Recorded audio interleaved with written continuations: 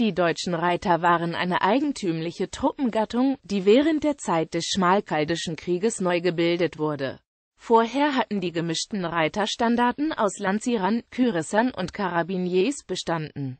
Die deutschen Reiter ritten leichtere Pferde als die Lancierer und Kürisser und wurden insbesondere in der norddeutschen Ebene westlich von der Oder angeworben. Sie hießen auch Ringerpferde, weil sie geringere Pferde ritten und trugen offene Eisenhüte.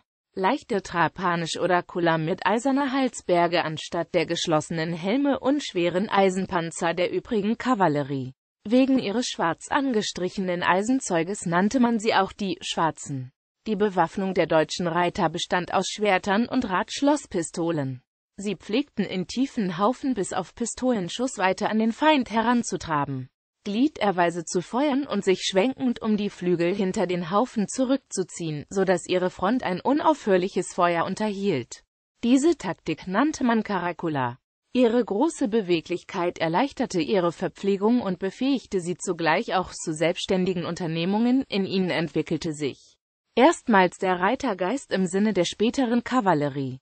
Sie konnten ohne Fuß volkweite Feldzüge unternehmen, waren geschickt im kleinen Krieg und lieferten selbstständige Schlachten, z.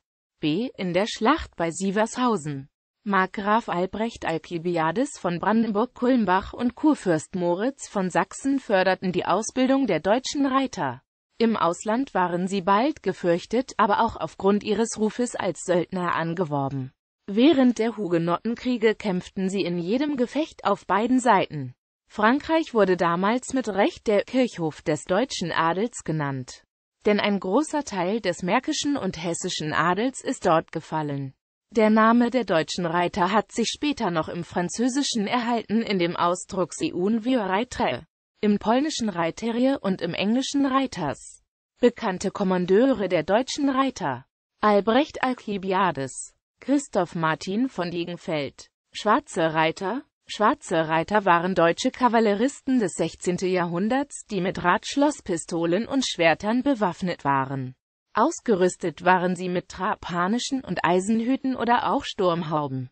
Der Name Schwarze Reiter kommt daher, dass man aus Kostengründen minderwertigen Stahl für die Rüstungen verwendete und sie schwarz ätzte, damit sie nicht so schnell rosteten. Mit der Zeit waren diese schwarzen Reiter gefragte Söldner im In- und Ausland. Die Engländer nannten sie Sword Reiters. Im letzten Drittel des 16. Jahrhunderts gingen aus den schwarzen Reitern die Arkebuser Reiter hervor. Siehe auch Lancierer, Kürassiere, Arkebuserreiter